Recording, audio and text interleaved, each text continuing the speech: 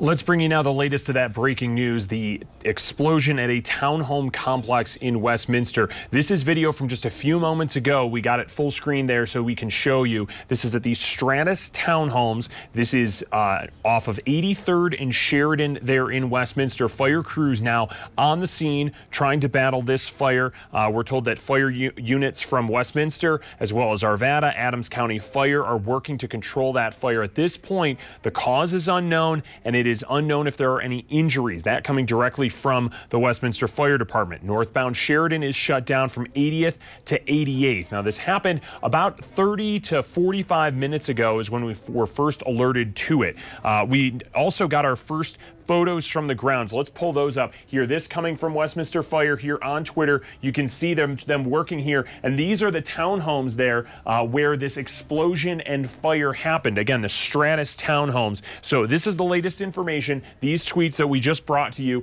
uh, coming in from Westminster Fire Department, including the closures there, as we're just trying to, to check and make sure that, that nothing else is new. These, this is the photo we just showed you. Let's show you where this is on the map. This is 8300 Sheridan Boulevard here. This is Sheridan. This is Highway uh, 36 there. This is 80th Avenue. And it happened here in that townhome complex. We'll zoom in and kind of show you. You can see the darker roofs here. Those are the Stratus townhomes. Now, several of those were evacuated. Uh, a tweet earlier from Westminster Fire went out in all caps that there was an explosion and to evacuate buildings 16, 17, 18, and 19. So on the Stratus Townhomes website, you can see that these are the four buildings that we're talking about that were evacuated. It appeared from that photo that the fire crews here were parked, pulled in here, and then were kind of spraying down. We don't know specifically which building that is.